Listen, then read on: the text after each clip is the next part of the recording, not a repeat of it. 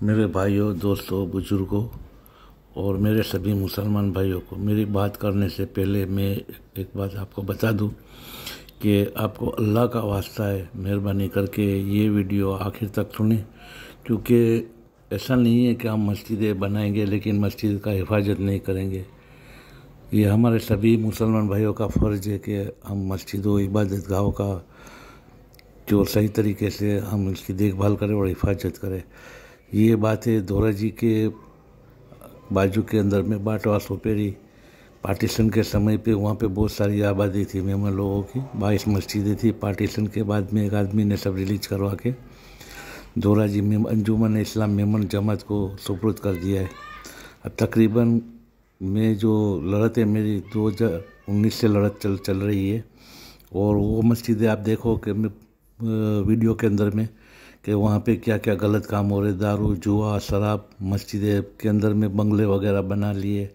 मैं दो हज़ार उन्नीस में आत्मविलोपन करने गया था, फिर इसके बाद में, चार साल बाद में मैं वहाँ पे इंटरव्यू भी लिया है हमिद गोडिल का, जो आज प्रमुख है, पहले सेक्रेटरी था। और कई मस्जिद के पैसे भी, अगली जो बॉडी थी उनने पैसे वसूल किया था। लेकिन सवाल ये है कि हमिद गोडिल है वो क्यों नहीं कर रहा है? वहाँ की ज़मीनें बिक रही है, मकान बिक रही है। मैंने ये बाबत के अंदर में पहले हमीद गोडिल से बात किया, उसने फ़ोन कर दिया, हाजी मुश्ताक से कॉल किया। वो भी करोड़ रुपया चंदा लेके आता है, लेकिन किसी को हिसाब नहीं दे रहे। इसके बाद में दोरा जी के आलिम से मैंने बात किया, दारुल से। वो भी डर रहे बात करने के लिए। कितनी मतलब का जाली में आगे नहीं आएँगे तो हम लोग क्या करेंगे? इसके बाद में मैंने बात किया बरेली के जाने माने आली में, मैंने उनसे भी बात किया। ये सब ऑडियो क्लिप में, ये हमारे, मेरे यूट्यूब चैनल पे मैं रख रहा हूँ, सुनो। अगर जो आप बात नहीं उठाओगे तो मैं अकेला क्या कर पाऊँगा? ये अल्लाह का घर पहले भी था अभी भी और हम सब मुसलमानों का फ़र्ज़ है। इसके लिए आप सब लोगों के पास मैं हाथ जोड़ के विनती करता हूँ ये मेरा वीडियो लाइक करें शेयर करें और जहाँ तक हो मेरी बात आगे पहुँचाई जाए ताकि वहाँ पे ऐसे अल्लाह के घर के अंदर में जो गलत काम हो रहे मकाने बन गए और उसका मतलब कि हाँ, सही इस्तेमाल अल्लाह का घर के उसमें हिसाब से होवे। और धोरा जी की आवाम को जानना चाहिए कि ऐसे आदमी को ये लोग प्रमुख की गद्दी पे बिठा दिया है और दारू रूम में से भी इसको निकालना चाहिए अहदे पे से जब तक ये ये काम नहीं उधर निकाल देना चाहिए और मेमन जमात के अंदर में भी इसको अहदे पे नहीं रखना चाहिए क्योंकि ये भ्रष्टाचारी है और अल्लाह के घर उसके वो अंदर में बिक रहे अल्लाह हाफि दुआ की दरख्वास्त है दुआ में याद रखना। और हाँ एक आप आपको बात बताना भूल गया कि एक डेढ़ साल पहले यहाँ की जो कमेटी अभी बनाया हुआ है, ये बोलते मस्जिद कमेटी, इसके जो कमेटी वाले इसमें एक बंदा है जो अफ्रीका कई साल नौकरी करके आया है, फ्रॉड करके आया है वहाँ पे, दुबई वाले लोग हैं। तो वहाँ की जो ऑडियो वीडियो इन लोगों ने विदेशों के अंदर में भेजी थी और वहाँ पे कई आदमियों की मेरे पास आई थी तहकीकत के, ये लोग चंदा मांग रहे। तो बाटवा के नाम पे मेहरबानी करके कोई भी इन लोगों को कोई पैसा भी ना दे और जिन जिन लोगों ने पैसे दिया है वो मेरे से रबता करें, क्योंकि ये आपका पैसा गलत जगह पे जा रहा है, दुरुपयोग हो रहा हो और ये रमज़ान के अंदर में भी मेमन जमात दोराजी अंजुमन इस्लाम मेमन जमात को को एक पाँच पैसा भी डोनेशन नहीं देगा। अगर जो दिया तो उसके ऊपर भी मैं कार्रवाई करूँगा। ठीक है अल्लाह हाफिज। हेलो। सलामकुम वालेकुम। अस्सलाम। हमीद भाई यूट्यूब पे अभी आप लाइव हुए आपसे कुछ पब्लिक सवाल पूछना चाहती है। क्या रिपोर्ट आ रही? मैं अनिश कांगड़ा बोल रहा हूँ जामनगर से। हेलो सलामकुम हाजी मुस्तक भाई वालेकुम सलाम ए, मैं अनिश कांगड़ा बोल रहा हूँ। लाइव लाइव चालू है आपका कॉल रिकॉर्डिंग यूट्यूब पे सब लोग आपको देख रहे हैं और सवाल पूछ रहे हैं। अमित भाई को कॉल किया। अमित भाई फ़ोन अमित भाई फ़ोन उठाए लेकिन जवाब नहीं दे रहे कट कर कर कट कर दिया है। तो आप जमात के अहदेदार है तो मेरे को ये बताओ कि बाटवा के अंदर में जो मस्जिदों में मकान बना हुआ है सुपेरी के अंदर में जनाखोरी वगैरह सब होता है तो उसके बाबत में आपने क्या एक्शन लिया? मैं चार साल से मैं मैं मेमन जमात के सामने कानूनी कार्रवाई कर रहा हूँ तो क्यों ये मस्जिदें बिक रही है? कौन है उसका जिम्मेदार? आप एक काम करो यहाँ आप मैं आपसे फ़ोन से बात नहीं करूँ आप रूबरू रूबरू बात करो नहीं नहीं रूबरू अरे रूबरू क्या है? आप आप जो उसका हिसाब भी नहीं दे रहे आप सबूत शादी वगैरह कर रहे हैं आपकी कॉल रिकॉर्डिंग भी है आप चंदा कर रहे हैं तो ये आप बताओ ना कॉल पे सब पब्लिक सुनेगी अरे यार मेरी बात सुनो मैं आप- कुछ आप- भी करता हूँ मैं कुछ भी करता हूँ उससे आपको कहाँ देखने का मैं समूह शादी करूँ या कुछ भी करूँ? तो मैं अल्लाह के अल्लाह को रजा के लिए काम कर रहा हूँ। मैं आप आप हमारे को ये ये बात क्यों कर रहे हो आप ये कर रहे हो वो कर रहे हो? मैं अल्लाह की रजा के लिए काम कर रहा हूँ। घर के अंदर में ये सब हाँ तो आप है ना जिससे जो जिससे बात करने का है ना उससे बात करो। हम मेरे को ये ये ये बाटवा के बारे में मुझे बात मत पूछो। वो जिसका सब्जेक्ट है ना है, जो मस्जिद कमेटी है ना 2019 जो मस्जिद कमेटी है। ना दो हज़ार में मैं आत्महत्या करने आया था जमात के सामने जब से आपको सब रिकॉर्ड मालूम है। चलो लो आप हाँ। एक काम करो जो मस्जिद कमेटी है ना उससे आप बात करो मैं तो मस्जिद कमेटी में मैं नहीं हूँ। आप जमात में है ना सर? आपका कौन सा उदय है जमात के अंदर में? मैं मैं हाँ। मस्जिद के मैंने मेरी बात सुनो मैं तो यहाँ खाली आता हूँ और मेरी सेक्रेटरी- मेरी बात सुनो मैं सेक्रेटरी बने हुए हैं मैं फैसला कमेटी है। के मैं मैं फैसला कमेटी के अंदर में हूँ। हाँ जो हाँ? जो आप सेक्रेटरी के उहदे पे है ना सेक्रेटरी के उहदे पे है आप। हेलो सलामकुम सलाम अलवी साहब जामनगर से मैं अनिश कांगड़ा बोल रहा हूँ। कैसे सर आप, आप हज़रत? अल्लाह का करम है। अच्छा मैं आपको दो वैसे तो मैं लेखित के अंदर में आपको एक फतवा भेजूँगा। जैसे कि आप कई साल पहले सुपेरी में गए हुए थे आपको जमा, जमात के होदेदारों ने सुपेरी मस्जिद कब्रस्तान पे ले गए थे। हाँ। तो अभी भी बाटवा के अंदर में यही काम चालू है। तो मस्जिदों के अंदर में जनाखोरी होती है मैंने यूट्यूब पे रखा हुआ है दारू पेशाब ये सब हो रहा है। और बाटवा के अंदर में कई लोगों ने मकाने बना ली है। मैं हमीद भाई गोडिल, मेहमान जमात के प्रेसिडेंट है, उनको कॉल रिकॉर्डिंग किया तो वो जवाब नहीं दे रहे मुश्ताक भाई भी जवाब नहीं दे रहे। तो इसके बाबत में आप दोरा जी के दारुल उनके बहुत बड़े हस्ती है और सालों से आप के चाहने वाले सब पूरे मुल्क के अंदर में। तो आप बाटवा के अंदर में माहिर होंगे, बाटवा सुपेरी के अंदर में। तो आपका कुछ फ़र्ज़ नहीं बनता कि आप लोग उनको कुछ बोले? अरे भाई धौराजी जमात के अंदर बाटवा कुतियाना की मस्जिद है। हाँ हाँ। तो धौराजी जमात के लोग जब मेरे पास आएँगे कुछ कहेंगे तब तो कुछ करूँगा।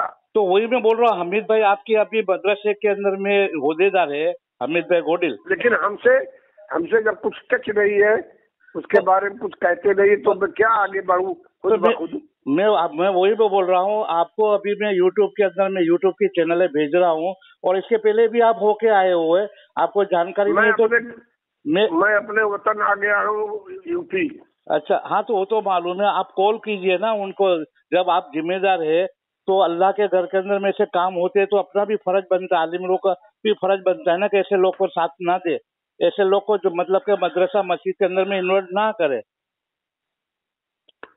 ठीक है ठीक है अब तो मैं नहीं आप मदरसे में आऊँगा तो तो कुछ नहीं मैं ये ब, ये बताओ अभी कॉल रिकॉर्डिंग पे आपको।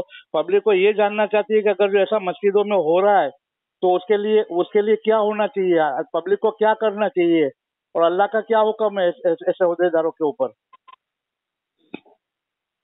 ठीक है अहदेदारों को फ़ोन करके उनको उनको समझाओ। नहीं समझने के लिए कि तैयारी दी है ना हज़रत। मस्जिदों में मकान बने हुए तो अल्लाह का क्या कहने का है? ऐसी मस्जिदों के अंदर में ऐसे काम होते हैं और आप भी मुलाकात लिए हुए सुपेरी के अंदर में कई साल पहले होके आए। तो उसके अंदर में फतवा अल्लाह क्या कहता है? ऐसी मस्जिदों के जिम्मेदारों के ऊपर क्या लाजमी होता है? क्या मदरसे के अंदर में ये तो रखने के मैं लिए आऊँगा तभी कुछ करूँगा। नहीं आप धोरा जी आएँगे लेकिन आप अभी फ़ोन पे तो बता सकते हैं ना वैसे मैं फतवा तो भेजने वाला अभी तो मैं अपने काम में मसरूफ हूँ भाई। ठीक है चलो कोई बात नहीं आप मैं भी समझ गया कि भाई क्या चलने वाला है। डरो मत अल्लाह से डरो आप बड़े आल- आलिम लोग हो। और अगर जो आलिम लोग ही ऐसे डर जाएँगे ऐसे लोगों से क्या होगा अल्लाह खेर करे ठीक है? कुछ गलती हो गई बोलने में चाहे तो मेरे को माफ़ करना। ठीक है चलो खुदा हाफिज। खुदा। हेलो। हाँ अस्सलाम वालेकुम। वालेकुम सलाम जी। हज़रत मैं अनिश कांगड़ा बोलता हूँ जामनगर से। अच्छा बोलिए कांगड़ा साहब तो कहिए अरे साहब हम तो आपका गुलाम है मैं ये कॉल रिकॉर्डिंग पे रखा हुआ है। जी बोले। अगर जो आपकी इजाज़त होगी तो इसको रिलीज़ बोले, बोले। मेरे को मैं जहाँ ज़रूरत हो वहीं पर किसी को कोई सुनना चाहता है उसको सुना दीजिएगा। वैसे यूट्यूब वगैरह मत डालिएगा। नहीं वो ऐसी बाबत है कि वो हमारे जो अल्लाह के घर है उसके लिए बहुत ज़रूरी है। शायद वो आपकी आवाज़ से हो सकता है कि वहाँ पे जो पूरा मसला है आप पहले सुन लीजिए। मैं आपको लिखित में मैं आपको लेखित के अंदर में भी भेजूँगा। और अभी आप हाँ, सिर्फ़ औपचारिक बता दीजिए कि उस पर ज़रूरी नहीं है अमल करना।